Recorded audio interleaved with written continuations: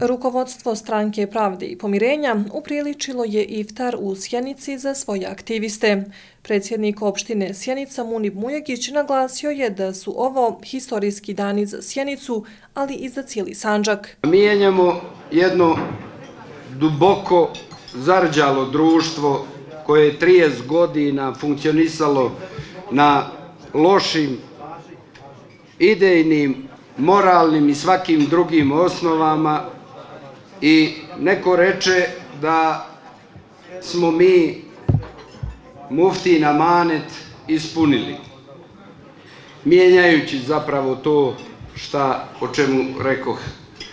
Ja bi se složio samo delimično, jer verujem da mufti na manet je zapravo način života i da mi taj amanet moramo da nosimo i u budućnosti i do konačne pobjede dok god ovaj prostor i Sjenice i Sanđaka ne bude potpuno uređen, ne ostvarimo naše političke e, zadatke i naše političke interese, da ujedinimo islamsku zajednicu, da bude zapravo jedinstvena, da ne izgradimo, dok ne izgradimo respektabilne nacionalne institucije i dok ovaj prostor ne bude prostor u koji će ljudi se doseljavati, a ne iseljavati, što će reći da ovde ostvarimo ambijent u kome će se na dostojan i dostojanstven način živeti. Prisutnima se obratio i predsjednik grupe građana bez diskriminacije Aldin Dino Kurtović. Imam želji da se zahvalim svima vama koji ste dali poseban doprinos ovoj pobedi, da se zahvalim svima onima mojim saporcima iz grupe građana koji su nesredično sebe dali da pomogu ovoj pobedi, da se zahvalim i onima koji su nas kutili, da im poručim, da im alalit možemo zaboraviti, nećemo. Predsjednik Skupštine opštine Sjenica, profesor dr. Rejhan Kurtović, pozvao je još jednom sve da se pridruže stranci pravde i pomirenja. Najjača smo stranka u Srbiji iz razloga što smo imali najčistiju i najbolju kampanju, zato što nismo imali kampanju blaćenja, prozivanja, udaranja na svoje političke neistomišljenike i svoje protivnike. U našoj izbornoj kampanji smo prezentovali naše rezultate minulog rada, naše projekte i ponudili smo konkretan politički program kako za građane Republike Srbije, tako i za građane Sanđaka. Teško nam je noćas bez našeg muftije, teško nam je što on nije sa nama, ali mi smo sa njim. On je u našim dobama, on je u našim mislima, on je u našim srcima. Mi se večeras sa ovog mesta zavetujemo da nikada nećemo odustati sa muftinog puta i da ćemo dok smo živi slediti muftin put i muftin amanet.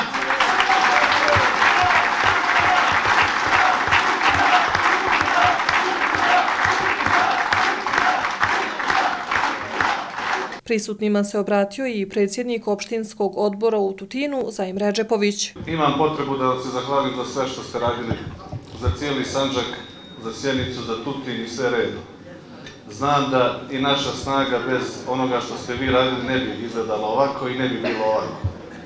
U tom kontekstu ja vam od srca čestitam i ja nam od srca čestitam na odličnim rezultatima. Hvala vam i što se vas tiče, vi samo nastavite ovako, a mi ćemo još malo da se popravimo sve. Podpredsjednik stranke Pravde i pomirenja profesor dr. Jahja Fehratović poručio je da ova stranka čuva mir na Balkanu. Moram ja zaista svima da se zahvalim e, prosto na ovoj velikoj energiji koja je bila prisutna pred ovoj kampanji i na tome što smo uspjeli svi zajedno da očuvamo čistotu ideje i misije i vizije rahmetli akademika Muftije Vamera Zukorlića, I to je naša najveća snaga i pobjeda i to je ono što nas ako Bog da i motivira da nastavimo, da radimo još jače, još čvršće, još ubjedljivije kako bismo dosegli sve one snove koji su sanjani i kako bismo imali i ove nove snove koja ova generacija u same sanja, a da to sve bude ostvareno, potrebno nam je da nastavimo ovim putem ili ovdje u Sjenici, i u Tutinu, i u Pazaru, ali cijelom Sanđaku,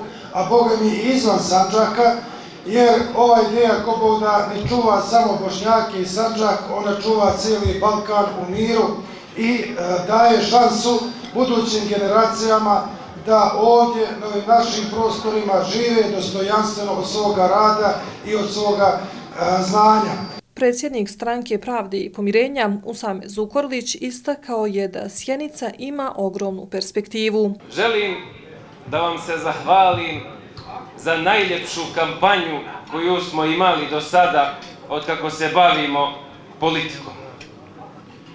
Kampanja pozitivne energije, kampanja pozitivnih rezultata, kampanja pozivanje na dobro, odvraćanje od zla, kampanja projekata, kampanja vizije. Mi imamo viziju jasnu, čistu, šta hoćemo da napravimo od sjenice. Mi svi u stranci imamo projekciju sjenice kao budućeg razvijenog grada Sanđaka i Republike Srbije.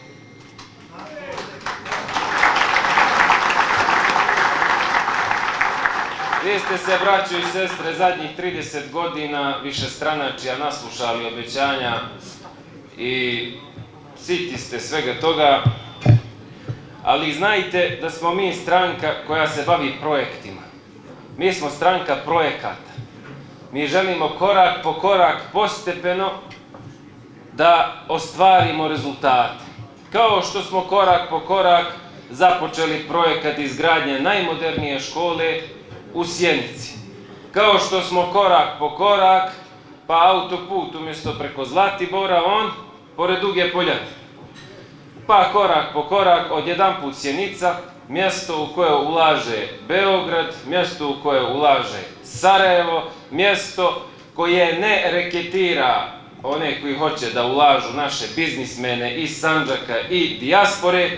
Sjenica je od jedan put mjesto od, gdje se ne uzima novac od građana da bi se asfaltirao put. Sjenica je od jedan put mjesto, Sjenica je broj jedan trenutno u Srbiji po bilansu vraćanja duga od svih opština. U ime izbornog štaba stranke Pravde i pomirenja u Sarajevu prisutnima se obratio Hako Duljević. Ispričat ću vam jedan mali detalj jednog razgovora mog i muftija Rahmet. Kad je trebalo pripremiti jednu kampanju za, predizbor, za, pred, za izbore u Srbiji, ja sam mu rekao muftija, ja mislim da bi bilo dobro da mi, kad se Sanđaka tiče, najprije dođemo na vlast u jednu opštinu, a da onda tokom tog mandata ljudima omilimo život do te mjere da nas svi oni iz drugih opština u narednom izbornom procesu mole da taj format kopiramo kod njih. Pitao me, pitao me je, dobro, a koju bi ti opštinu odabrao? Ja koji stopa sjenicu.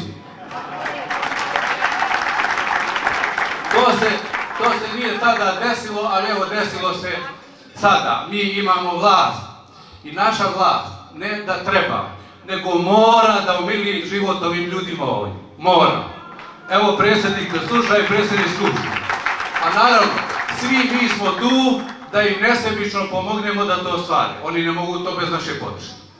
Voljni smo da to odradimo, voljni smo da damo maksimum i sam sam voljan da pružim sve što u mojoj moći. Da omilimo našim ljudima život u sjednici.